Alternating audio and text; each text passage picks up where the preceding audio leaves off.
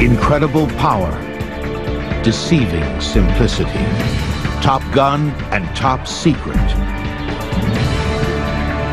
We trust our lives to them. Now, jet engine.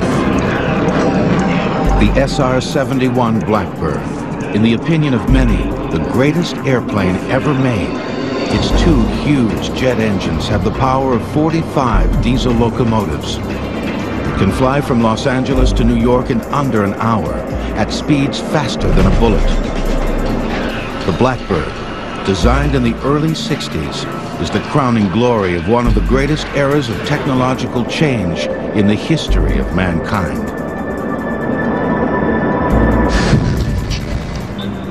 The Jet Age. The term was synonymous with scientific and social progress in the 50s and early 60s. The Jet Age conjured up not just a technological revolution, but a radical change in the way human beings thought, acted, and lived. And the Jet Age was powered by this. The blast of hot gases out of the end of a metal tube. One of the simplest ideas for an engine in history. Any child who's ever blown up a balloon, then released it to zoom through the air as it deflates, has seen how jet power works. The most common form of jet engine today is the turbojet. It uses spinning compressor wheels at the front end of the engine to compress the incoming air. The air is then mixed with fuel and ignited. The blast of exhaust gases out the back propels the engine forward, as well as rotating turbine wheels at the back which turn the front compressor wheels on the same shaft. Today's jet engine was a logical progression from a device called a turbo supercharger that was first used in the waning years of World War I to get more power out of military airplanes powered by piston engines. Here was a case where technologists were trying to allow the piston engine to breathe, if you will, more efficiently at high altitude. With a turbine in the exhaust that rotated a compressor wheel to force feed air into the engine, they had the main elements of a jet engine, although they didn't realize it at the time.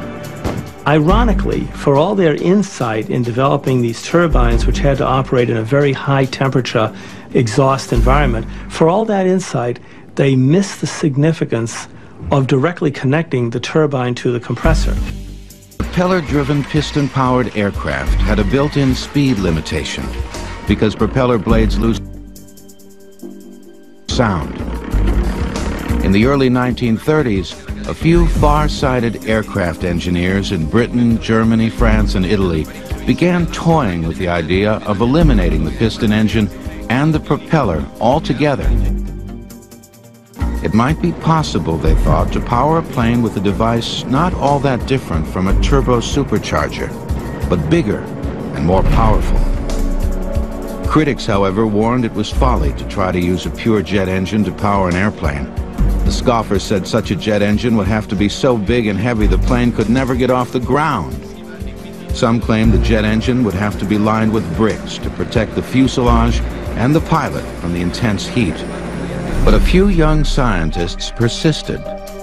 One of them was Britain's Frank Whittle, who first wrote about the idea of jet aircraft in 1928, when as a cadet at Cranwell Military School he turned in a thesis on the possibilities of powering airplanes with a gas turbine engine or turbojet. After graduation from Cambridge University, Whittle began putting together a demonstration turbojet. His first model ran so erratically it almost exploded, and it would be three and a half years before he had a working model. But it was too weak to power an airplane. Whittle had been given unusual treatment by the Royal Air Force. He was placed in selected positions so that he could continue to develop his radical ideas. The irony of it is, is that uh, when it came time to really back his ideas, the British government backed away from it. He, he, he didn't get the support that he needed. Whittle had no way of knowing that at the same time in Germany, another bright young engineer was working on exactly the same idea. Hans von Ohain had convinced one of Germany's leading airplane manufacturers, Ernst Heinkel, to let him build an experimental turbojet in 1936. Within a year, he had a viable engine. And in August of 1939, the Heinkel HE-178 rolled down the runway and lifted into the sky. The world was about to change. The first jet engine was in the air. Germany was not about to announce to the world that it had just created the first turbojet airplane. The German Air Ministry recognized that they had a potential wonder weapon, and they also realized they would be at war very soon.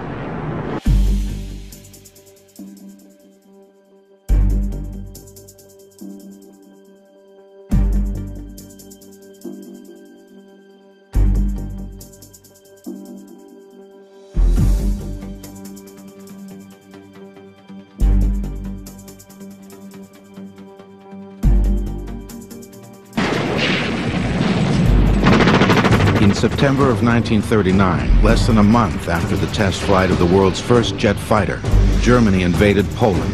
The war was on. But the work on getting a jet fighter into mass production still proceeded slowly. In 1939 and 40, there was no great impetus in Germany to develop the jet engine. The Luftwaffe felt invincible, and their propeller-driven aircraft were doing just fine.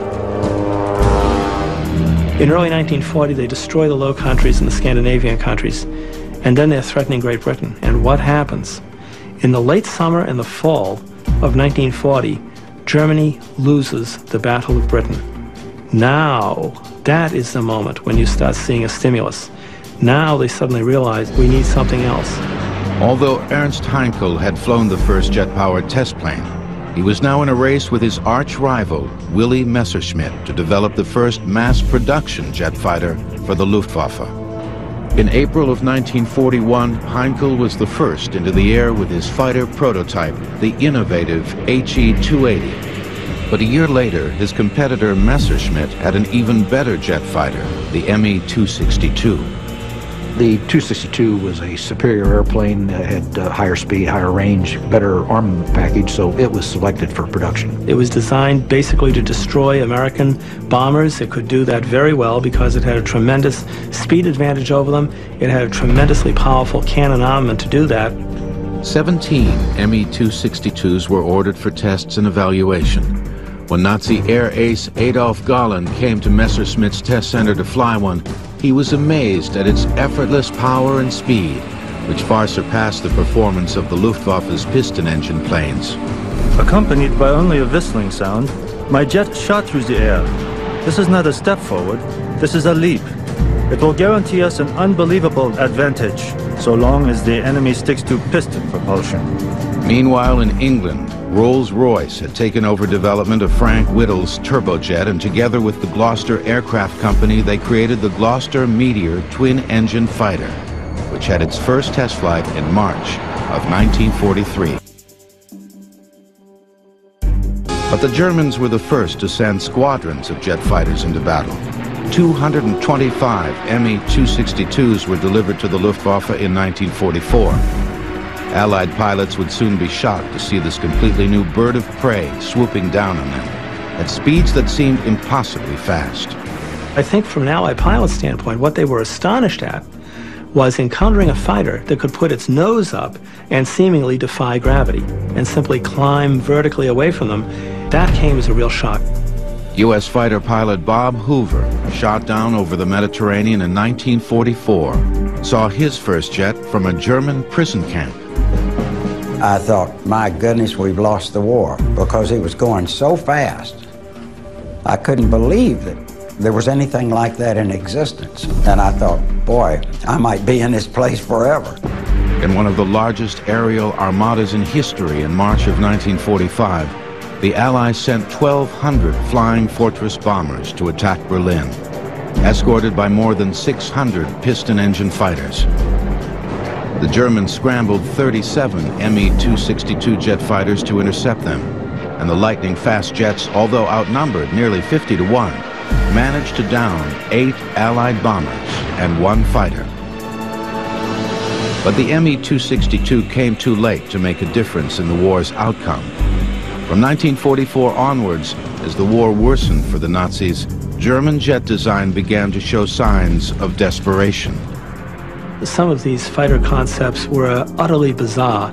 And so you started seeing weird little fighters like the Heinkel 162, the so-called Volksjäger, built out of plywood with a jet engine on the back of the airplane behind the pilot, or the Messerschmitt 163 Comet, which was a rocket-propelled fighter that used two hypergolic fuels. In other words, when the fuels were mixed, they would spontaneously combust. That was actually far more dangerous to its pilots than it ever was to the Allies. You had piloted surface-to-air missiles, the Bachem Natter. You had piloted air-to-surface uh, guided bombs. Uh, many of these would have required years. Some of their projects would have required decades to develop. The price of these ineffective projects was fewer effective planes like the Me-262 and the Arado 234, the world's first jet bomber. Meanwhile, the British, led by Frank Whittle, had their first jet fighter ready to go in late 1944. Called the Gloster Meteor, it helped intercept German V-1 buzz bombs, which were powered by a pulse jet, a jet engine that took intermittent gulps of air, producing the strange sound that gave the buzz bomb its name. The British Gloster Meteor and the German Me-262 never met in battle. The war was over before either of them could have any impact on the outcome. The U.S., lagging far behind, would not have an operational jet fighter until after the war was over. During the war, U.S. military authorities initially had no idea how far behind they were. Aircraft engine manufacturers in the United States had shown little interest in developing jet engines. They were making millions selling piston engines to the military. They also had very little incentive to take great, bold leaps, if you will, uh, because of the funding that was provided by the military. The military didn't provide funding for experimental research. If they wanted to do research, they more or less had to uh, get that money from amortizing the profits on production programs. General Hap Arnold of the U.S. Army Air Corps arranged for the importation of Frank Whittle's jet engine technology from Britain to the United States. General Electric Company in Lynn, Massachusetts, under conditions of great secrecy rivaling the Manhattan Project, began developing an American version of the Whittle jet. The GE engine, based in an American testbed airplane called the P-59 Airacomet, powered the very first American jet airplane. Testing of the P-59 began in 1942 at Muroc Dry Lake, California, now known as Edwards Air Force Base, which was used as a training base for young pilots learning to fly piston engine fighter. Disguised the P-59, a fake wooden propeller was placed on its nose when it was moved across the base. Pilots on the south end of the lake were not really quite certain what was going on, but every now and then, some would return to base with stories of an absolutely incredible encounter. They would be flying along, and all of a sudden, an airplane would fly alongside with no propeller on it whatsoever. They were probably even a little more disturbed when they peered up into the cockpit and saw what appeared to be a gorilla wearing a derby hat and waving a stogie at them. Well, that gorilla wearing the derby and smoking the stogie was Bell's chief test pilot, Jack Woolams.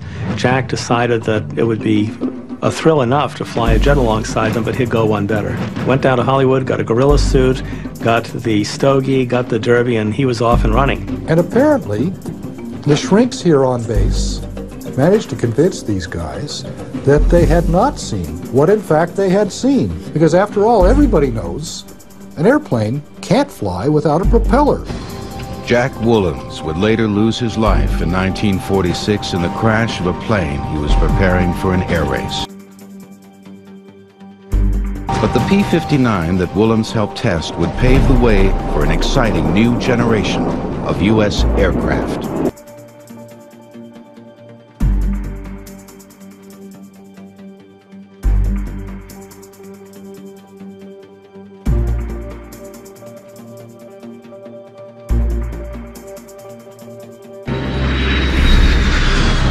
Testing of the very first U.S. jet continued at Muroc Dry Lake in California, it became evident that it was too slow to be the airplane the military was hoping.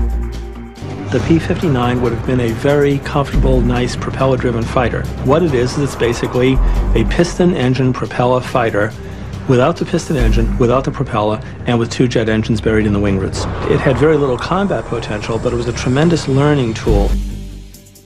Completely unaware of the top-secret P-59 program, Kelly Johnson of Lockheed went to the U.S. military with a plan for a radically different jet aircraft. Willis Hawkins was a young airplane designer working for Kelly Johnson at the time. Finally, a senior colonel asked him to come into his office, and uh, he said, uh, first thing, you got to shut up about that airplane of yours. Secondly, we've got a twin-engined airplane that's flying today, jet engine, and it's no damn good. He said, if we give you a specification for an engine that's already running, Will you go home and make us a proposal? Two weeks later, Kelly Johnson submitted his unique proposal. And three weeks later, he had a contract to build America's first operational jet fighter, the P-80. It was the beginning of Lockheed's top-secret Skunk Works division, the advanced aircraft unit that would go on to build many legendary airplanes, including most recently, the Stealth Fighter. was given a contract uh, to conduct at Lockheed uh, virtually uh, an experiment in not only in the aircraft but in production. He, he demanded and received authority to have a sequestered workplace, to have no government interference, to be able to do a minimum of paperwork. Starting with the P-80 program, one of Kelly Johnson's rules at the Skunk Works was never to separate the engineering department from the manufacturing department. Willis Hawkins saw the value of that rule when he was in the office of one of the F-80's designers, Irv Culver. The manufacturing department on the floor below called up to say they needed a part designed to brace a small curved section of the bulkhead. Well, Irv said, let's go down to the shop. And he took a piece of cardboard and fiddled with it and cut it with scissors until it fit, bent up the edges, and he said, make it like that out of 060 aluminum. And the guy said, fine. And, he, and Culver said, bring it back. I got to make a drawing of it. and that was what was meant by the communication with the shop. The all-new P-80 could fly at 560 miles an hour, about 150 miles an hour faster than the P-59. Bob Hoover, who saw his first jet from a German prison camp, was now a test pilot in the P-80 program, contending with early jet engines that after five hours would overheat and malfunction.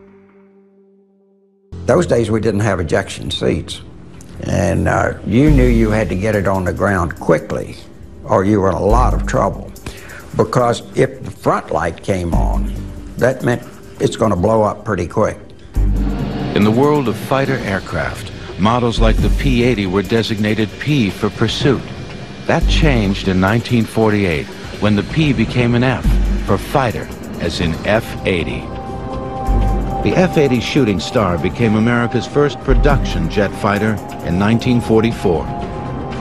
It led to the more advanced and powerful F-84 Thunderjet in 1946. It was the first U.S. jet to have an ejection seat, an idea that was copied from the Germans. Bob Hoover was the first to use one in an emergency, or at least try to use one. It happened when the jet engine on his test plane suddenly malfunctioned. It's very abrupt when one of the jet engines freezes. That whole airplane lurches like that. And now it's just pitching over and I'm completely out of control. And so I thought, well, here we go with this seat. And so I reached down and pulled the handle and nothing happened. Then I opened the canopy and was sucked right out. And the reason for the ejection seat is to get you over the tail to avoid killing you, the pilot by hitting the tail. I went right into the tail and broke both legs right through the knees and uh, landed way up in the Antelope Valley there. Near death from shock and exposure. Hoover was eventually picked up by a farmer who saw his parachute in the sky and searched for the downed pilot for hours. The move into a jet fighter was a very pleasant experience. Marty Knutson logged more than 1,000 hours as an F-80 pilot in Korea after first flying a piston engine fighter. Well, you didn't have to worry about having the right RPM for the power you were pulling and the mixtures. Uh, there was none of those controls. You had a go handle. It was either off or fast. But American jet pilots soon faced a formidable opponent in Korea.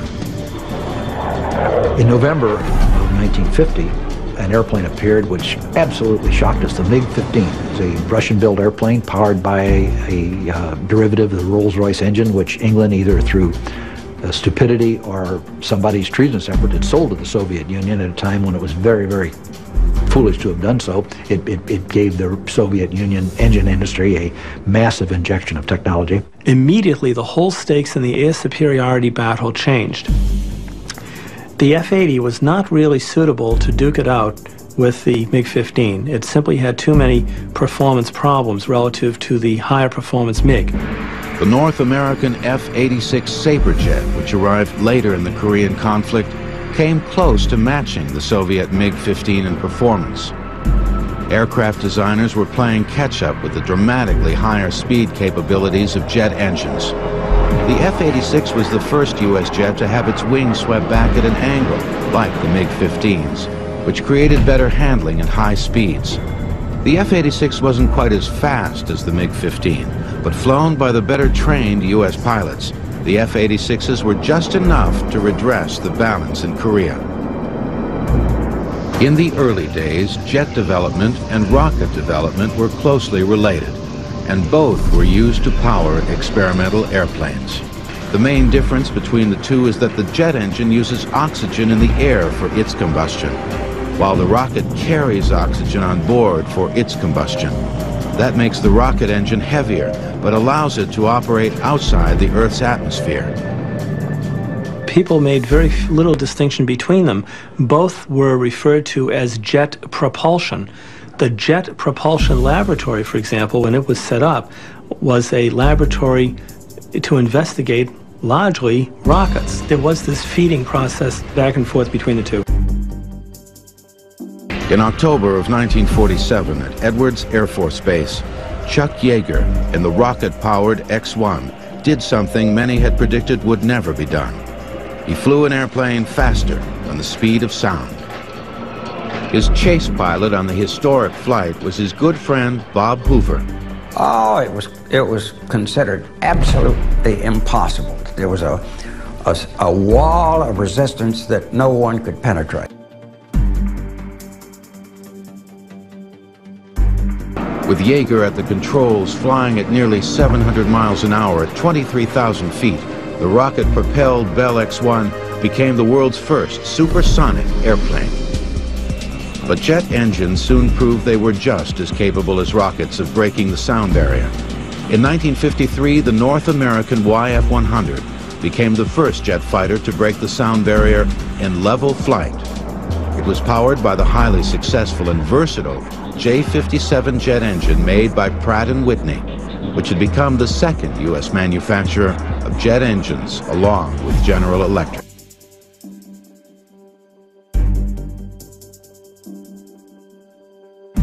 The Cold War of the 1950s brought a mood of fear and suspicion, and the jet engine found a new application in a super-secret spy plane called the U-2. It all started when the CIA came to Kelly Johnson at the Skunk Works with an idea. All the CIA said to Kelly was, we want something that goes a long way and gets very high, and we want pictures of you-know-who. Marty Knutson was one of the first six Air Force pilots recruited by the CIA to fly the mystery aircraft. We were asked if we'd be interested in flying on a very dangerous mission that would be uh, of great value to the United States of America. Any red-blooded young man says yes to that, you know. Some of the pilots speculated their secret mission might be to fly the first spacecraft. Marty Knutson hoped it might be a new Mach 2 supersonic fighter. The six young fighter pilots were shocked when they were taken to a remote CIA airfield and shown the ugly duckling they were going to be flying. It didn't really look like my cup of tea, being a young hot fighter pilot, seeing this big, long, gangly wing thing. It may not have been pretty, but it was a jet whose specially modified engine would propel it to incredible heights. We immediately started flying the airplane the next day and being told to start laying down operational plans for missions over Russia. Flying the U-2 was unlike anything Marty Knutson had ever experienced as a pilot. You're almost like you're living in another world. Uh, you can just start to see the curvature of the Earth. Well, I guess I should say it's a big ego trip to sit up there at 70,000 feet and look down at that man's puny effort and the world below you. U-2 was also powered by Pratt & Whitney's popular J57 engine. But to allow operation at 70,000 feet and higher, the engine had to be virtually hand-built with much closer tolerances to minimize loss of air pressure at high altitudes. It was believed the U-2 could fly with impunity over the Soviet Union because no Soviet fighters or missiles could go high enough to shoot it down, and at first, that was true. The apparent invincibility of the U-2 lasted until May 1, 1960, the day U-2 pilot Francis Gary Powers took off on a fateful mission over the Soviet Union. I was at Bodø, Norway, uh, where he was supposed to land, and I was supposed to take the airplane off on its next flight out of there. I started pre-breathing oxygen to fly, which you need to do two hours before takeoff, and of course he never arrived. Powers had been shot down by a Russian missile and captured. He was sentenced to 10 years in a labor camp, but was released two years later in a spy exchange. The U.S. announced an end to the Soviet overflights, but the U-2 continued to fly. Exactly where is still classified. Perhaps the most amazing thing about the U-2 is that it is still flying on reconnaissance missions for the Air Force and research missions for NASA. We started to see a shift in aircraft development.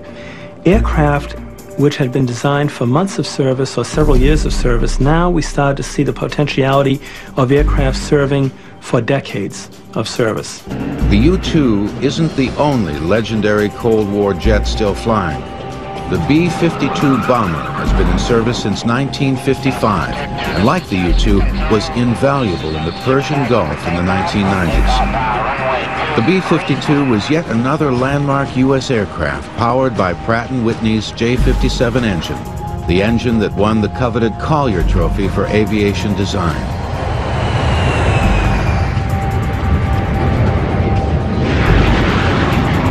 The B-52 had eight J-57 engines hanging in double pods below its huge drooping wings. They enabled the world's largest jet bomber to cruise at more than 600 miles per hour and drop its bombs from eight miles up beyond the reach of anti-aircraft fire. Walter Boyne flew B-52s as an Air Force pilot in Vietnam. When you have complete air superiority, you could send over a dump truck and drop bombs from it. And, and essentially that's what the B-52 does. But no one of it would ever anticipated that the airplane would have been flying in 1999 or, or as it probably will be in 2019. In the Gulf War, the B-52 had two roles.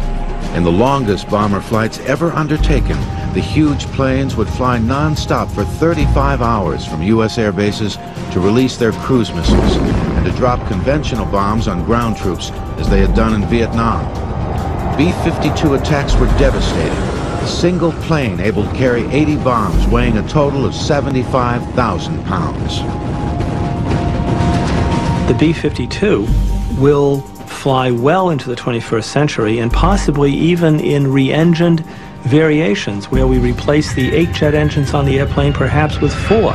As the capabilities of the jet engine change, we realize now that airplanes in many ways are like vessels. We can re-engine them, we can repackage them, we can, if you will, re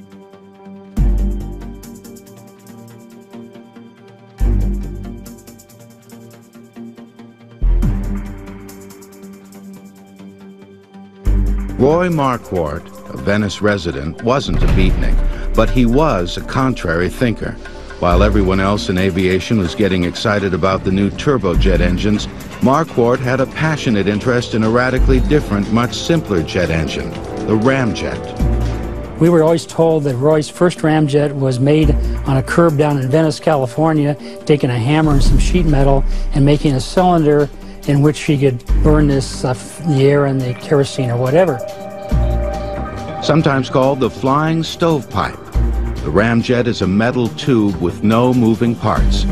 It works only at extremely high air speeds, high enough for the speed alone to compress air in the front part of the engine, where it's combined with fuel and ignited. The air is brought in to the inlet of the engine.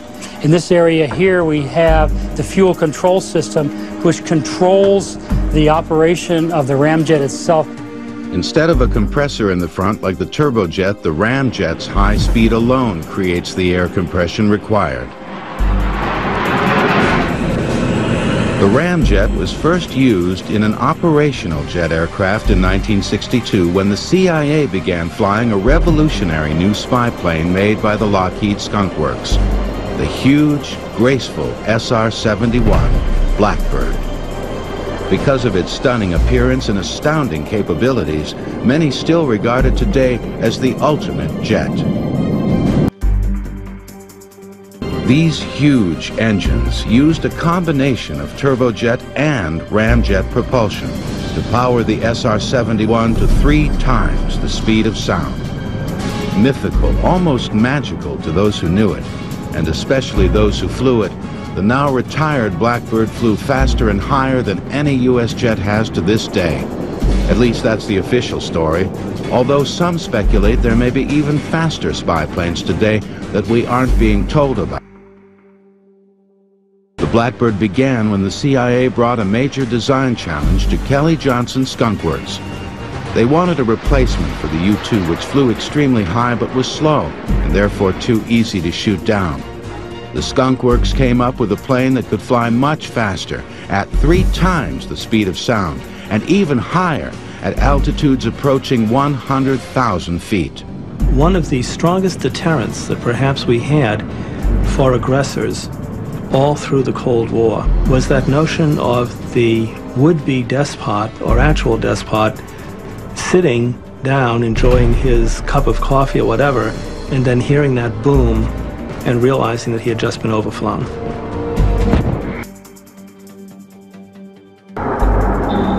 In the early 1950s, it was a commonly held view that while jet propulsion might make sense for military planes, the jet was impractical for use on passenger aircraft. For one thing, the jet was seen as a fuel guzzler and therefore not economically feasible for commercial travel.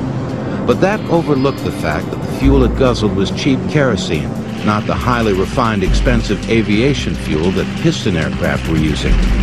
And there was another economy the airlines were unaware of, because the jet engine had virtually no vibration compared to a piston engine, there was much less wear and tear on the engine and the aircraft, and the time between overhauls, or TBO, could be increased dramatically. A lot of people think that the success of the jet age was because of the speed. The main factor was the economy. Uh, they would take the engines out and find there was, they were just like new. And they'd put them back in again, and then they'd come back again, and they were still like new. The time between overhauls has soared from a few hundred hours on the piston airliners of the early 1950s to more than 20,000 hours on jet airliners today.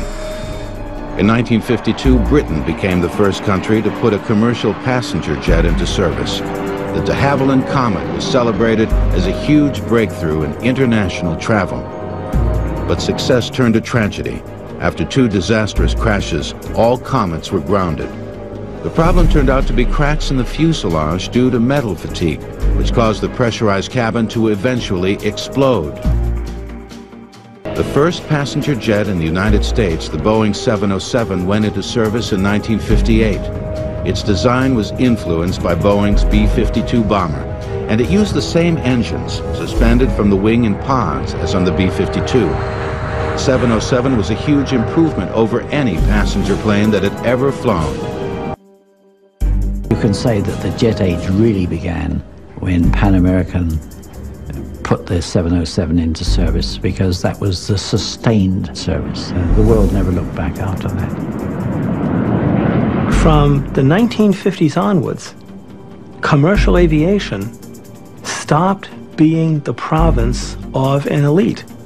It stopped being the stuff of rolling as people did, red carpets out to an airplane as passengers boarded. It now became a mass means of communication and travel. In 1958, more people flew across the North Atlantic than sailed across.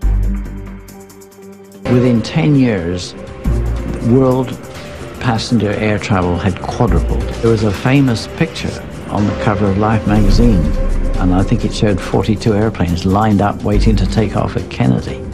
And it was becoming evident that the uh, airlines, and especially the busy hub airports, were becoming congested.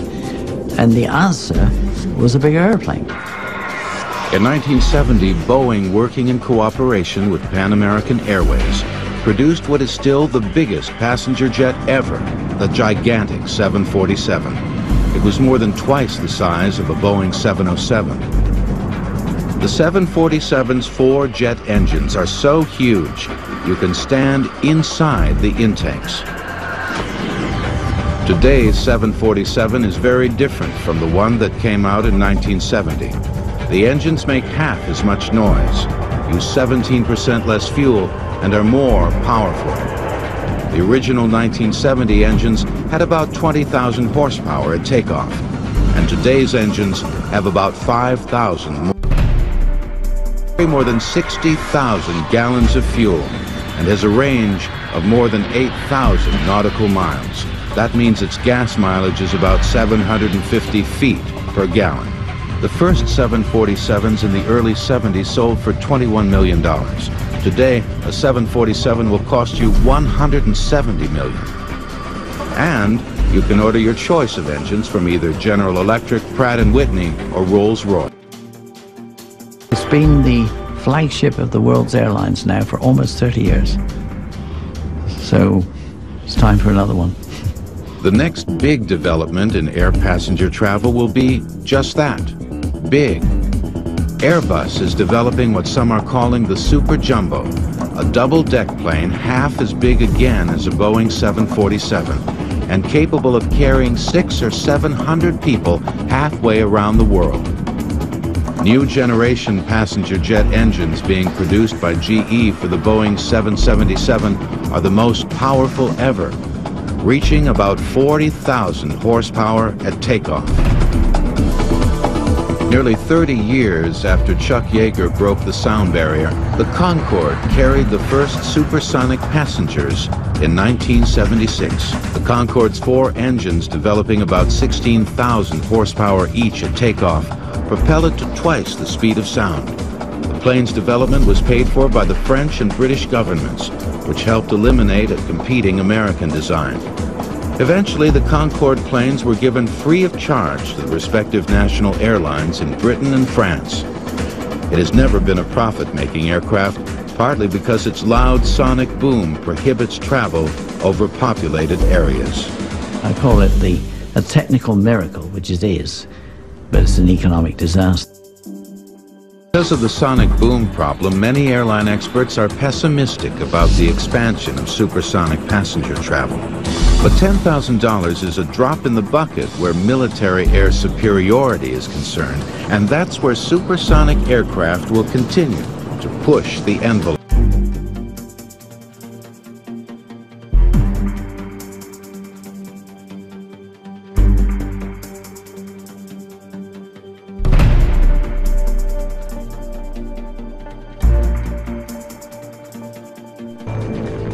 Recent years, the jet's more glamorous cousin, the rocket engine, has been getting all the attention.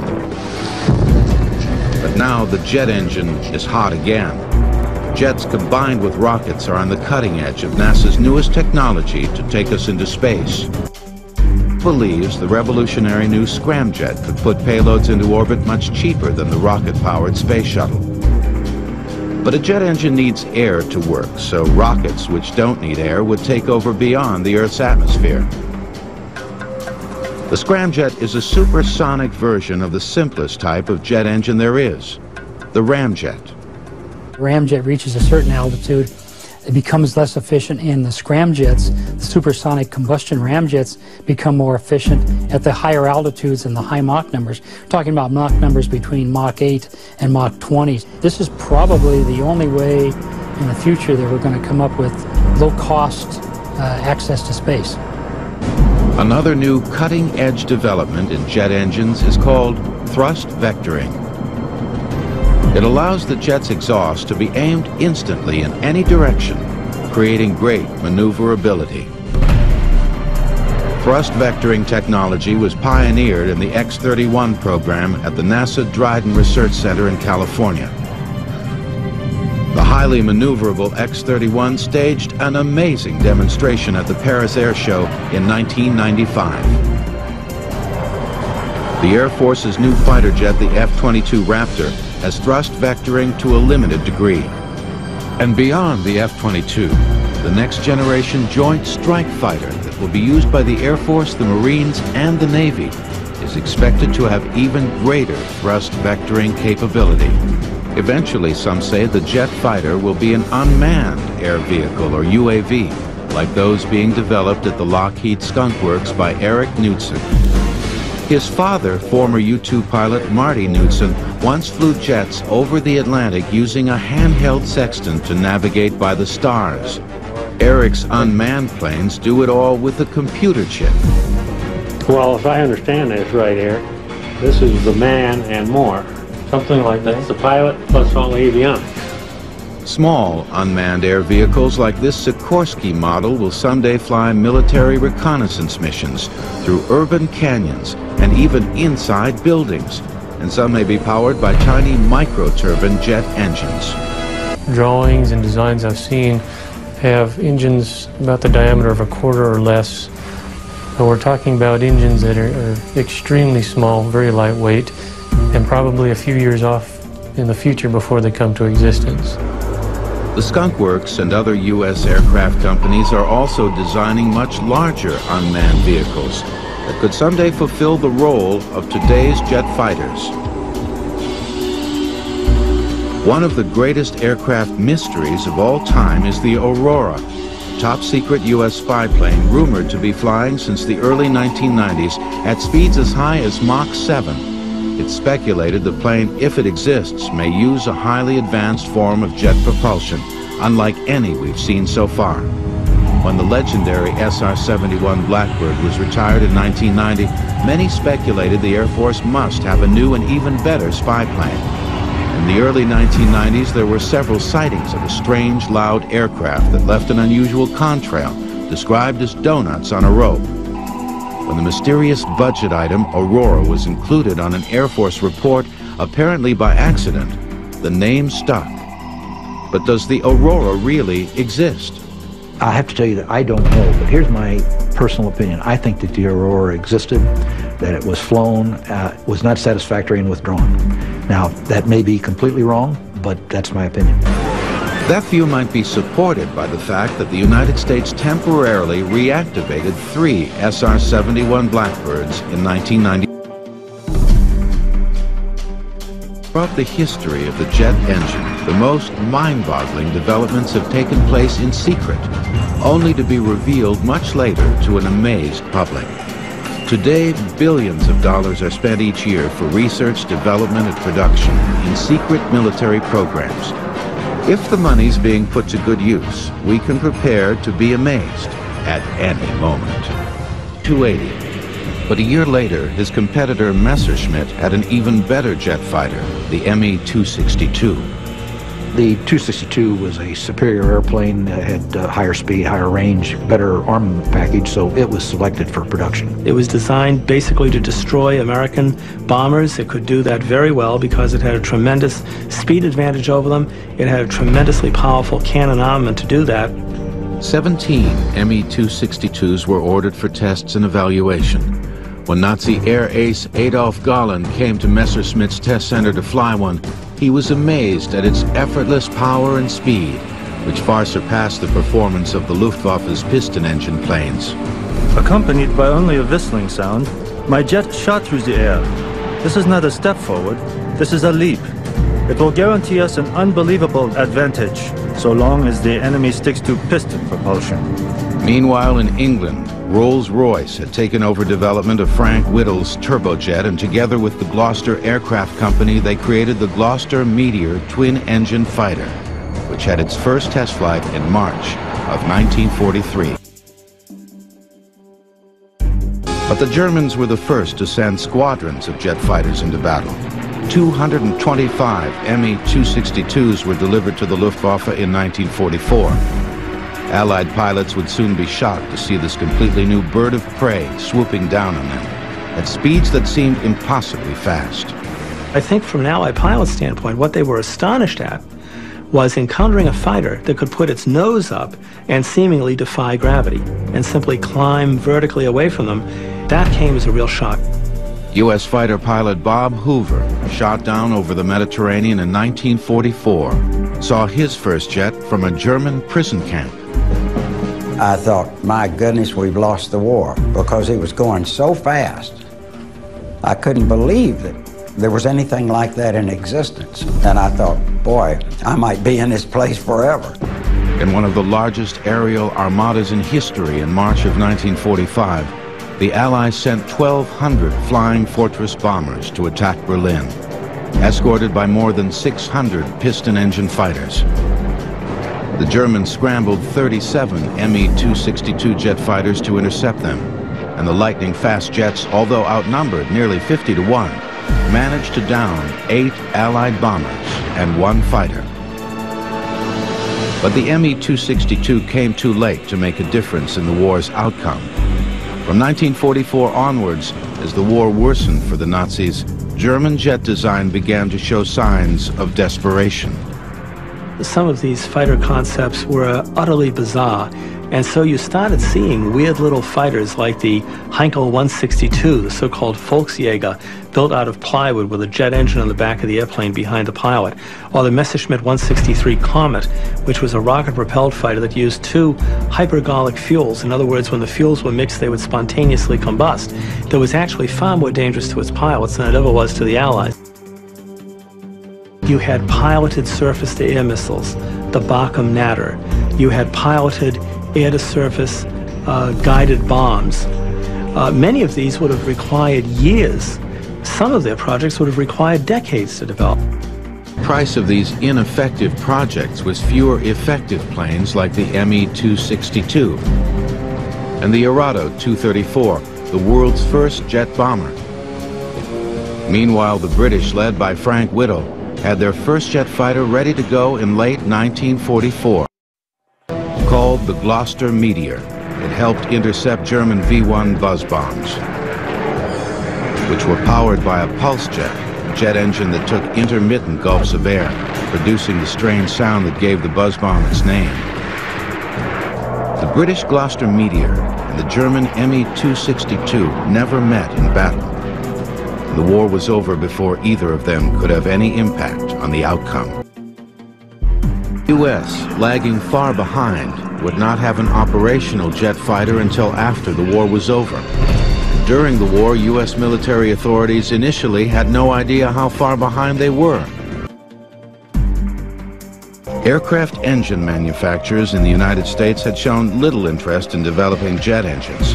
They were making millions selling piston engines to the military.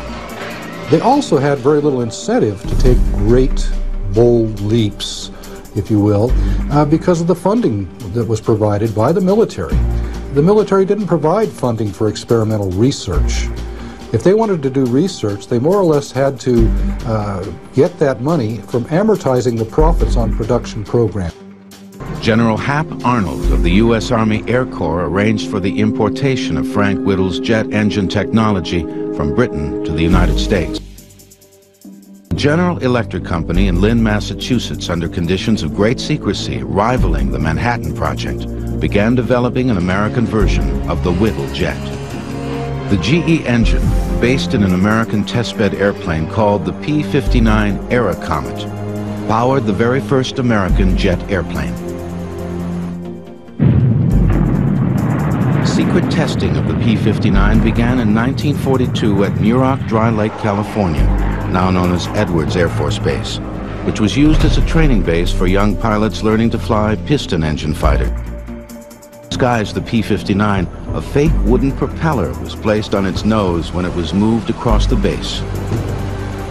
Pilots on the south end of the lake were not really quite certain what was going on, but every now and then some would return to base with stories of an absolutely incredible encounter. They would be flying along, and all of a sudden, an airplane would fly alongside with no propeller on it whatsoever. They were probably even a little more disturbed when they peered up into the cockpit and saw what appeared to be a gorilla wearing a derby hat and waving a stogie at them. Well, that gorilla wearing the derby and smoking the stogie was Bell's chief test pilot, Jack Woolams. Jack decided that it would be a thrill enough to fly a jet alongside them, but he'd go one better. Went down to Hollywood, got a gorilla suit, got the stogie, got the derby, and he was off and running. And apparently, the shrinks here on base managed to convince these guys that they had not seen what in fact they had seen. Because after all, everybody knows an airplane can't fly without a propeller. Jack Woolams would later lose his life in 1946 in the crash of a plane he was preparing for an air race. But the P-59 that Woolams helped test would pave the way for an exciting new generation of U.S. aircraft.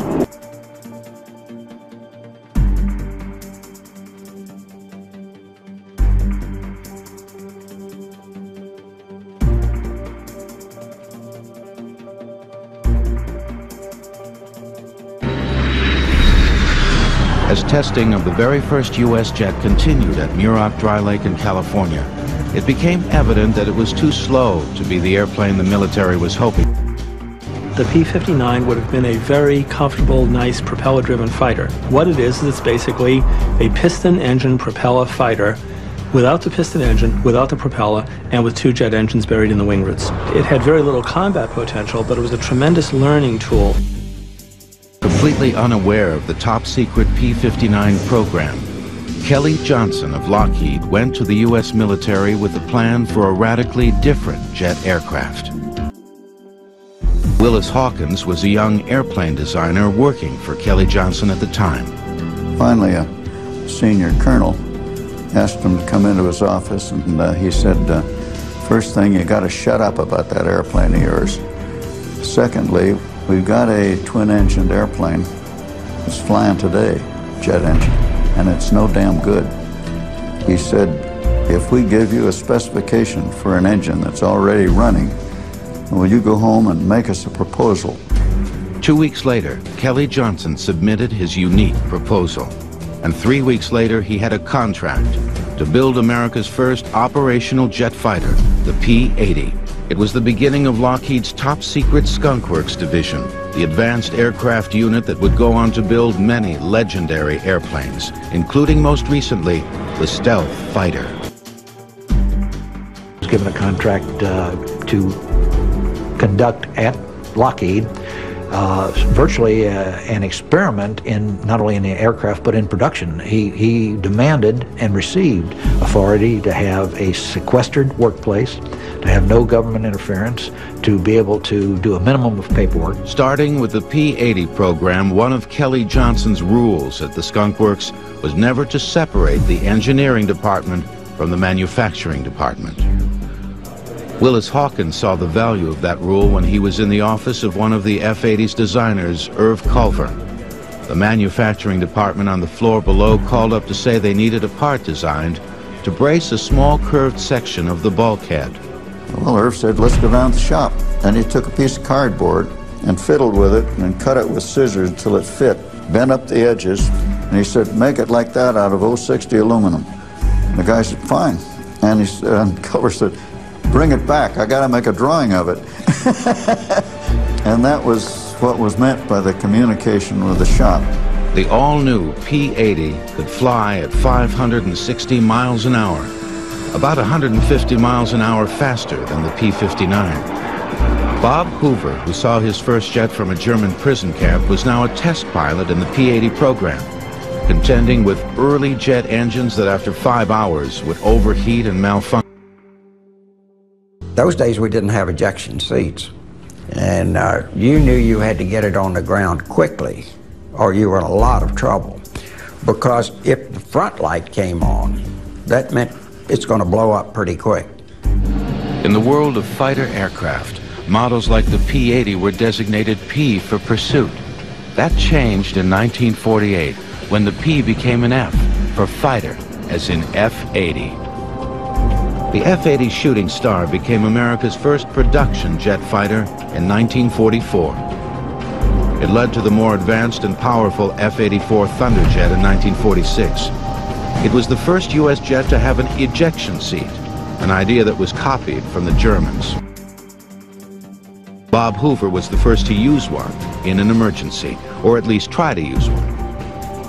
It happened when the jet engine on his test plane suddenly malfunctioned. It's very abrupt when one of the jet engines freezes. That whole airplane lurches like that. And now it's just pitching over and I'm completely out of control. And so I thought, well, here we go with this seat.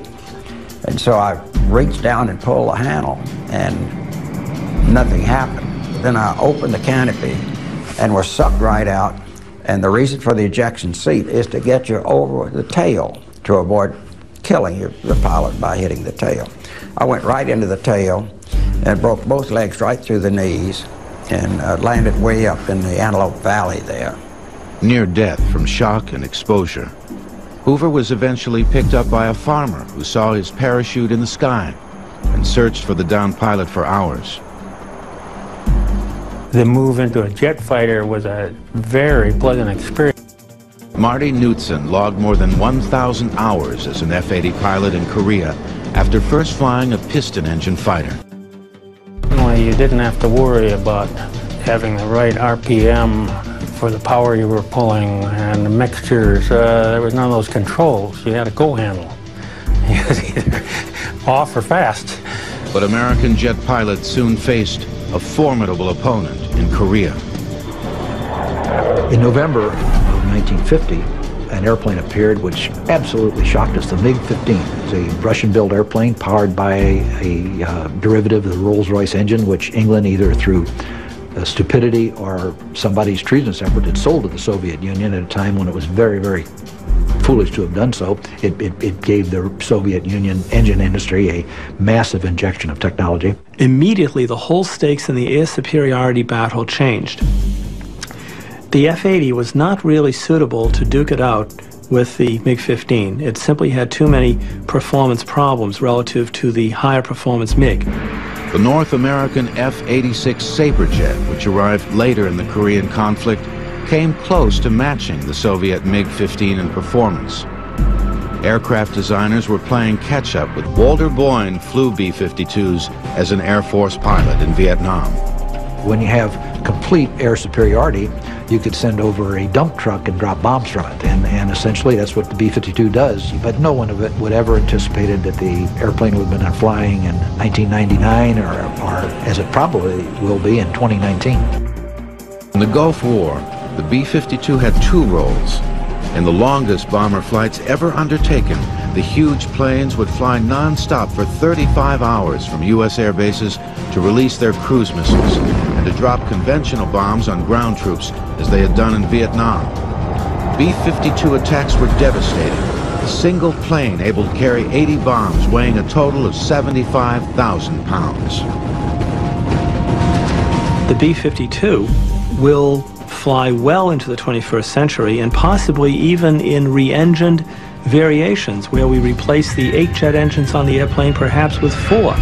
As the capabilities of the jet engine change, we realize now that airplanes in many ways are like vessels. We can re-engine them, we can repackage them, we can, if you will,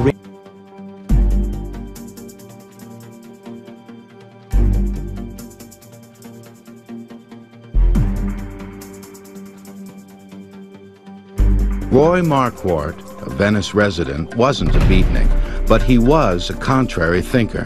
While everyone else in aviation was getting excited about the new turbojet engines, Marquardt had a passionate interest in a radically different, much simpler jet engine, the ramjet. We were always told that Roy's first ramjet was made on a curb down in Venice, California, taking a hammer and some sheet metal and making a cylinder in which she could burn this uh, the air and the kerosene or whatever. Sometimes called the flying stovepipe, the ramjet is a metal tube with no moving parts. It works only at extremely high air speeds, high enough for the speed alone to compress air in the front part of the engine, where it's combined with fuel and ignited. The air is brought in to the inlet of the engine in this area here, we have the fuel control system, which controls the operation of the ramjet itself.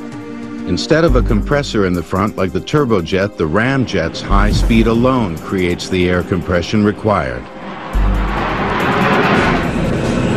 The ramjet was first used in an operational jet aircraft in 1962 when the CIA began flying a revolutionary new spy plane made by the Lockheed Skunk Works, the huge, graceful SR-71 Blackbird. Because of its stunning appearance and astounding capabilities, many still regard it today as the ultimate jet. These huge engines used a combination of turbojet and ramjet propulsion to power the SR-71 to three times the speed of sound. Mythical, almost magical to those who knew it, and especially those who flew it, the now retired Blackbird flew faster and higher than any U.S. jet has to this day. At least that's the official story, although some speculate there may be even faster spy planes today that we aren't being told about. Blackbird began when the CIA brought a major design challenge to Kelly Johnson Skunk Works. They wanted a replacement for the U-2 which flew extremely high but was slow and therefore too easy to shoot down. The Skunk Works came up with a plane that could fly much faster, at three times the speed of sound, and even higher at altitudes approaching 100,000 feet.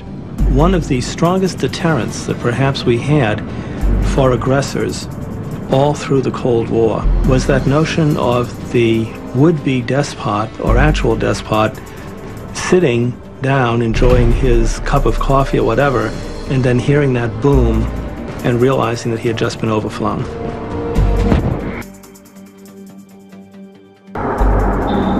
In the early 1950s, it was a commonly held view that while jet propulsion might make sense for military planes, the jet was impractical for use on passenger aircraft. For one thing, the jet was seen as a fuel guzzler and therefore not economically feasible for commercial travel. But that overlooked the fact that the fuel it guzzled was cheap kerosene, not the highly refined, expensive aviation fuel that piston aircraft were using.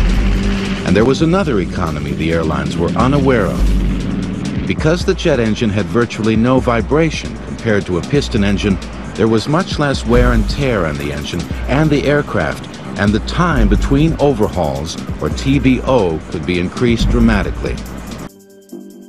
A lot of people think that the success of the jet age was because of the speed. The main factor was the economy. They would take the engines out and find it was, they were just like new. And they put them back in again, and then they'd come back again, and they were still like new. The time between overhauls has soared from a few hundred hours on the piston airliners of the early 1950s to more than 20,000 hours on jet airliners today.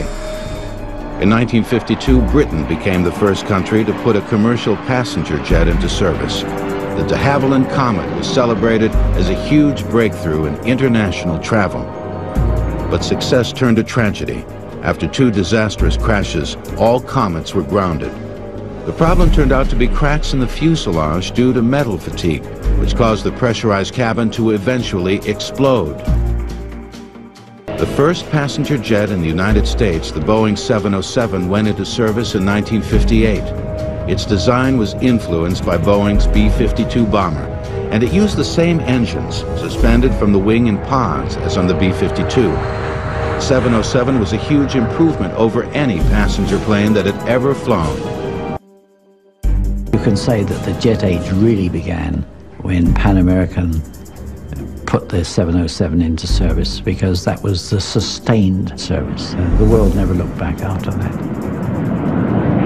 From the 1950s onwards, commercial aviation stopped being the province of an elite. It stopped being the stuff of rolling as people did, red carpets out to an airplane as passengers boarded. It now became a mass means of incredible power, deceiving simplicity, top gun and top secret. We trust our lives to them. Now, jet engine. The SR-71 Blackbird, in the opinion of many, the greatest airplane ever made Its two huge jet engines have the power of 45 diesel locomotives. It can fly from Los Angeles to New York in under an hour at speeds faster than a bullet. The Blackbird, designed in the early 60s, is the crowning glory of one of the greatest eras of technological change in the history of mankind. The Jet Age, the term was synonymous with scientific and social progress in the 50s and early 60s. The Jet Age conjured up not just a technological revolution, but a radical change in the way human beings thought, acted, and lived. And the Jet Age was powered by this. The blast of hot gases out of the end of a metal tube, one of the simplest ideas for an engine in history. Any child who's ever blown up a balloon, then released it to zoom through the air as it deflates, has seen how jet power works. The most common form of jet engine today is the turbojet. It uses spinning compressor wheels at the front end of the engine to compress the incoming air. The air is then mixed with fuel and ignited. The blast of exhaust gases out the back propels the engine forward, as well as rotating turbine wheels at the back which turn the front compressor wheels on the same shaft. Today's jet engine was a logical progression from a device called a turbo supercharger that was first used in the waning years of World War I to get more power out of military airplanes powered by piston engines. Here was a case where technologists were trying to allow the piston engine to breathe, if you will, more efficiently at high altitude. With a turbine in the exhaust that rotated a compressor wheel to force feed air into the engine, they had the main elements of a jet engine, although they didn't realize it at the time. Ironically, for all their insight in developing these turbines, which had to operate in a very high temperature exhaust environment, for all that insight, they missed the significance of directly connecting the turbine to the compressor. Propeller-driven piston-powered aircraft had a built-in speed limitation because propeller blades lose sound. In the early 1930s, a few far-sighted aircraft engineers in Britain, Germany, France, and Italy began toying with the idea of eliminating the piston engine and the propeller altogether. It might be possible, they thought, to power a plane with a device not all that different from a turbo supercharger, but bigger and more powerful. Critics, however, warned it was folly to try to use a pure jet engine to power an airplane. The scoffers said such a jet engine would have to be so big and heavy the plane could never get off the ground. Some claimed the jet engine would have to be lined with bricks to protect the fuselage and the pilot from the intense heat. But a few young scientists persisted. One of them was Britain's Frank Whittle, who first wrote about the idea of jet aircraft in 1928, when as a cadet at Cranwell Military School he turned in a thesis on the possibilities of powering airplanes with a gas turbine engine or turbojet. After graduation from Cambridge University, Whittle began putting together a demonstration turbojet. His first model ran so erratically it almost exploded, and it would be three and a half years before he had a working model. But it was too weak to power an airplane. Whittle had been given unusual treatment by the Royal Air Force. He was placed in selected positions so that he could continue to develop his radical idea. The irony of it is, is that uh, when it came time to really back his ideas, the British government backed away from it. He, he, he didn't get the support that he needed.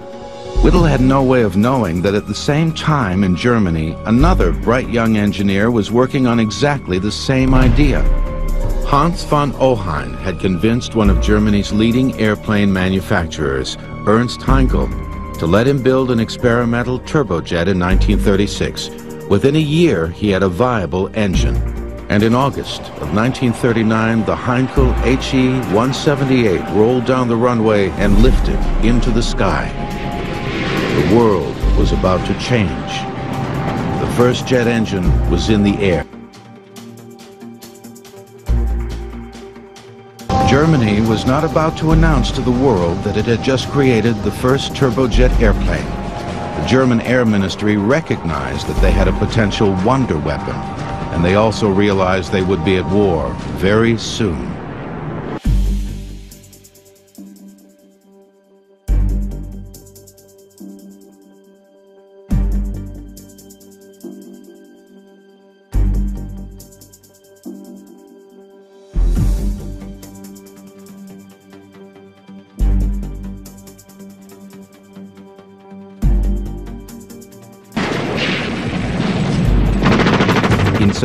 Of 1939, less than a month after the test flight of the world's first jet fighter, Germany invaded Poland. The war was on. But the work on getting a jet fighter into mass production still proceeded slowly. In 1939 and 40, there was no great impetus in Germany to develop the jet engine. The Luftwaffe felt invincible, and their propeller-driven aircraft were doing just fine.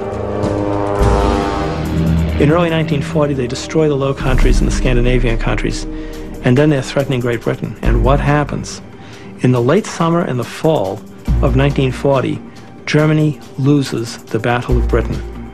Now, that is the moment when you start seeing a stimulus. Now they suddenly realize we need something else.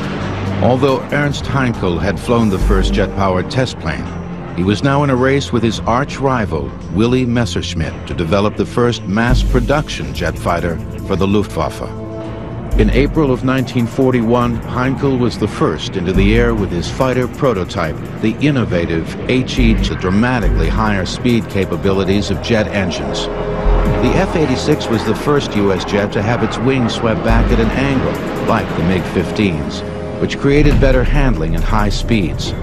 The F-86 wasn't quite as fast as the MiG-15, but flown by the better trained U.S. pilots, the F-86s were just enough to redress the balance in Korea. In the early days, jet development and rocket development were closely related, and both were used to power experimental airplanes. The main difference between the two is that the jet engine uses oxygen in the air for its combustion, while the rocket carries oxygen on board for its combustion. That makes the rocket engine heavier, but allows it to operate outside the Earth's atmosphere. People made very little distinction between them. Both were referred to as jet propulsion. The Jet Propulsion Laboratory, for example, when it was set up, was a laboratory to investigate largely rockets. There was this feeding process back and forth between the two. In October of 1947 at Edwards Air Force Base, Chuck Yeager in the rocket-powered X-1 did something many had predicted would never be done. He flew an airplane faster than the speed of sound. His chase pilot on the historic flight was his good friend Bob Hoover. Oh, it was it was considered absolutely impossible. There was a, a, a wall of resistance that no one could penetrate. With Yeager at the controls flying at nearly 700 miles an hour at 23,000 feet, the rocket-propelled Bell X-1 became the world's first supersonic airplane. But jet engines soon proved they were just as capable as rockets of breaking the sound barrier. In 1953, the North American YF-100 became the first jet fighter to break the sound barrier in level flight. Was powered by the highly successful and versatile J-57 jet engine made by Pratt & Whitney, which had become the second U.S. manufacturer of jet engines along with General Electric.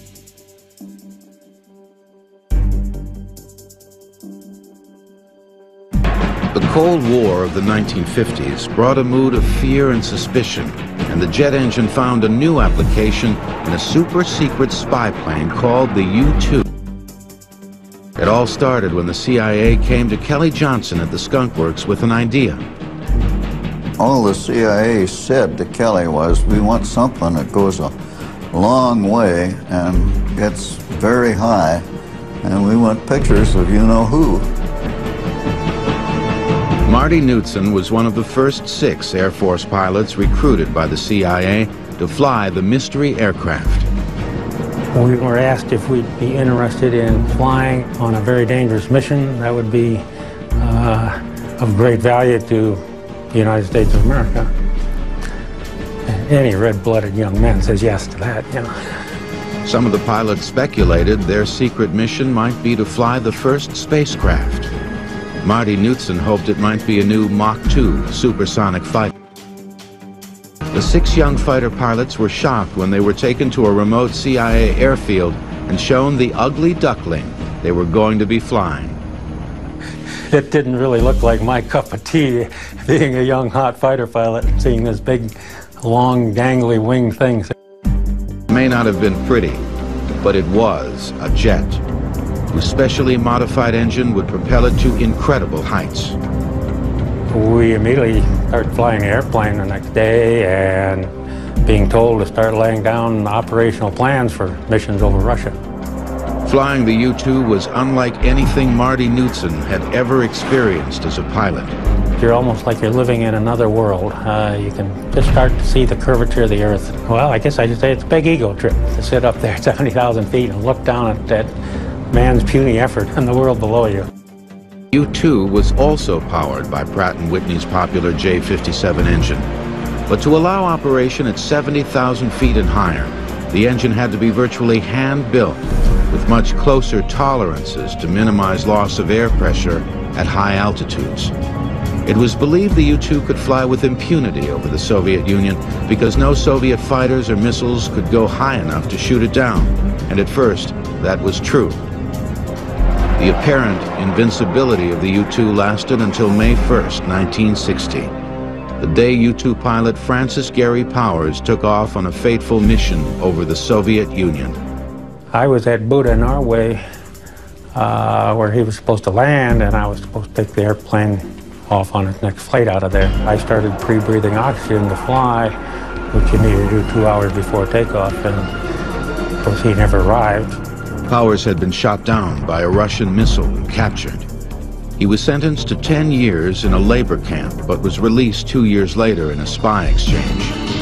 The U.S. announced an end to the Soviet overflights, but the U-2 continued to fly. Exactly where is still classified. Perhaps the most amazing thing about the U-2 is that it is still flying on reconnaissance missions for the Air Force and research missions for NASA. We started to see a shift in aircraft development. Aircraft which had been designed for months of service or several years of service, now we started to see the potentiality of aircraft serving for decades of service. The U-2 isn't the only legendary Cold War jet still flying.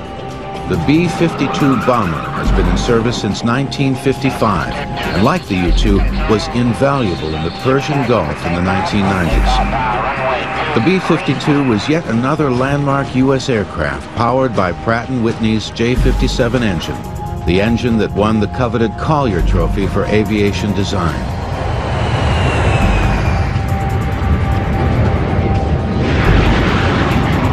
The B-52 had eight J-57 engines hanging in double pods below its huge drooping wings. They enabled the world's largest jet bomber to cruise at more than 600 miles per hour and drop its bombs from eight miles up beyond the reach of anti-aircraft fire.